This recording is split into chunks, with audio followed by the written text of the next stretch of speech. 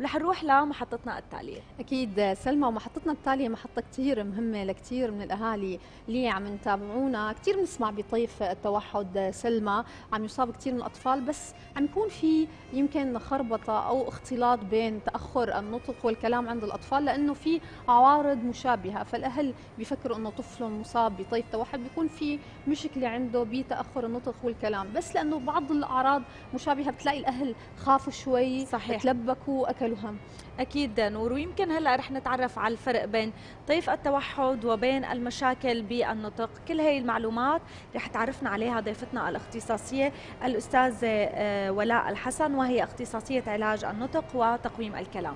صباح الخير صباح الخير أوقاتكم صباح النور. يسعد صباحك كنا عم نحكي تحت الهواء عن هي النقطة تمام. آه، مهمة جدا إنه دائما الأهل بيربطوا إذا ابني تأخر بالحكي ما كان اجتماعي بشكل آه، يعني مختلف عن أخواته بيخافوا بيقولوا ممكن يكون عنده طيف توحد ولا لا.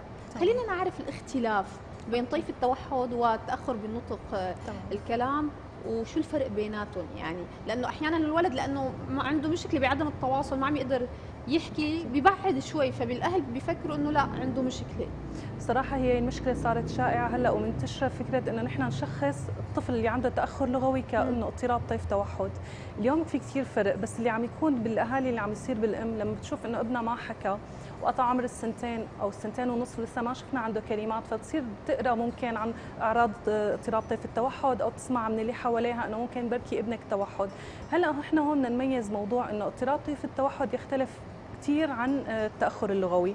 بالنسبة نحن لاضطراب طيف التوحد طبعا هو ببين بمرحلة الطفولة المبكرة في أعراض بتكون واضحة إلى جانب موضوع تأخر الكلام مم. يعني إحنا اليوم لما بنشوف إنه هذا الطفل هو متأخر لغويا لكن إذا هو بده يشخصه توحد عنده أعراض لفتت نظري غير موضوع تأخر الكلام لأنه بالنسبة لحالات الأطفال اللي بدنا نقول هن طبيعيين ولكن متأخرين لغويا أو نطقيا فدول حالات ثانية ما بتشبه التوحد. يعني نحن بدنا نقيس أول شيء في معايير لتشخيص التوحد.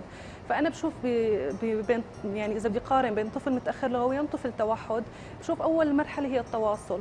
الطفل الطبيعي أو الطفل المتأخر لغويا نوعا ما فهو بيكون تواصله البصري جيد. هو بيتواصل معنا وبينتبه لنا وبنشوف في انتباه مشترك وبحاول يلفت نظرنا. أما طفل التوحد هو بيتجنب التواصل البصري وهي أول فارق جوهري بالنسبة لنا نحن لتشخيص اضطراب طيف التوحد. بنشوف كمان بالنسبة للتفاعل والتواصل الاجتماعي الأطفال المتاخرين لغويا هن اجتماعيين. لو هن بيمتلكوا كلمات قليلة بس هن بيبادروا بيقربوا بيحاولوا يفرجونا إنه بدهم يلعبوا معنا بيحاولوا يكونوا بمجموعة أطفال ويلعبوا مع الأطفال. لو كان اللعب ما في خلاله كلمات بس بنشوف عم يلعبوا ألعاب آه، طبيعية وظيفية بتلاقي بيلعب بالسيارات بيشارك بلعبة. ممكن نشوف انه مثلا ما عم يعرف يتواصل صح ولكن بس بيلعب. طفل اضطراب طيف التوحد بنشوف عنده لعب نمطي وما بيهتم لمجموعة الأطفال. وهي كمان وحدة منه من حتى تقيس الأم. الشغلة الثانية اللي كمان إحنا بنشوفها على كفارق بيناتهم اللغة. لما بنحكي نحن عن الكلام طفل متأخر لغويا بيكون عنده إن شاء الله ثلاث كلمات بس بيكون عنده بعض الكلمات بيحاول يتواصل ليعبر عن احتياجاته. طفل اضطراب طيف التوحد بنشوف عنده حصيلة الكلام قليلة وإذا كانت موجودة فبتكون نمطية تكرارية ومو ليعبر عن احتياجاته. فبنشوف تعبيره بالاحتياج مو بالكلام تعبيره عن آه، أي رغبة هو بده إياها بنوبة غضب ببكي لحتى يوصل للطلب اللي هو بده إياه. أما الطفل الثاني فهو بيحسن لو بكلمة واحدة يحسن يعبر. طيب أستاذة مثل ما حكيتي في فرق كثير كبير آه، بين التوحد وبين خليني أقول التأخر اللغوي تمام. طيب نحن المفروض أساسا من ايمتى تبلش الأم إنه هي تنتبه إنه في تأخر؟ يعني في سن معين لحتى نبلش بعدين ندخل بمجال نفوت طبيا نعرف هل لها علاقة بمرض معين بالإذن أو بشيء أو بحالة عصبية عنده. هي كلها بتلعب دور ولكن في سن معين أنا بقول هون ما عنده محصول لغوي فلازم بلش دور على السبب نحن دائما لما بنحكي عن تطور طفل كلام نحن عم نحكي عن مراحل من بداية مرحلة المناغة لوقت تطور عنده لمرحلة الجملة والحوار العفوي. فنحن كل مرحلة فيها تأخير هي فيها تأخير للمراحل اللي بعد. أه. هلا إمتى بدنا نميز؟ إذا فعلا هو عم يتأخر لغويا وفينا نحن ما نخاف من موضوع اضطراب طيف التوحد. لما أشوف أنا بمهاراته الثانية ما تأثرت. يعني لقينا تفاعله طبيعي لقينا إدراكه منيح ما عنده آه، أي نوع من التأخر العقلي أو ما عنده مثلا آه، خلل بمهارات ثانية إحنا نشوفها. حتى في في فارق مهم إنه عندنا السلوكيات النمطية. اضطراب طيف التوحد بغض النظر إنه ما عم يحكي بغض النظر إنه ما عم يتواصل بنشوف عنده سلوكيات نمطية تكرارية كل كل الوقت عم يكررها. فنحن بنسأل الأم انت طب شفتي ابنك متأخر؟ لاحظتي عليه أعراض ثانية غير موضوع الكلام؟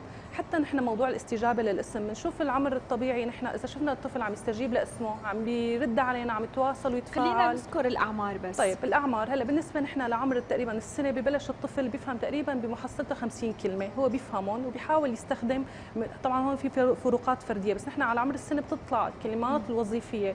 طفل اضطراب طيف التوحد بنشوف عنده تأخر بهذا الموضوع. الأطفال المتاخرين لغويا تكون محدودية بالكلمات في كلمات ولكن محدوديتها واضحة.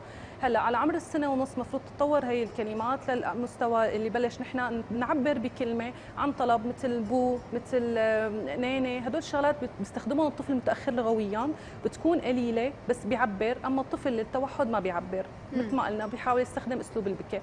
هلا لعمر السنتين تطلع مرحله الجملة من كلمتين تمام؟ وهي هي الجملة اللي بدها تبلش تتطور ليصير فيها لعمر ثلاث سنين آه، بتصير فيها آه، أفعال بتصير فيها آه، ده ثلاث كلمات صارت كبرت الجملة عند الطفل. هلا المتأخرين لغويا حتى نحن بنشوف على عمر السنتين ما مطورين الجملة. بيفقد كلامهم حتى بعمر ثلاث سنين ظروف مثلا المكان والزمان يعني القواعد تبعات اللغة.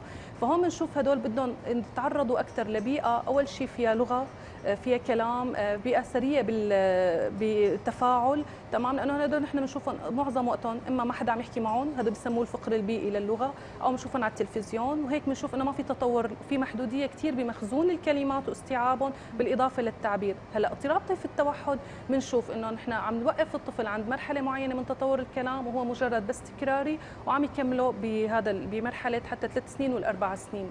فنحن لما بدنا نقارن الطفل بدنا نقارن إنه على أكثر من موضوع مو بس إنه نحن نقيس موضوع تأخر الكلام. فلأنه كثير في اختلاف. لأنه بيقول لك إذا ما تأخروا الكلام أنا بخاف. لا في عدة عوامل وفي فروقات كثير كبيرة يعني حتى لحتى الأهل يقدروا ينتبهوا. حتى اضطراب طيف التوحد لو عنده خلل بالمعالجة الحسية.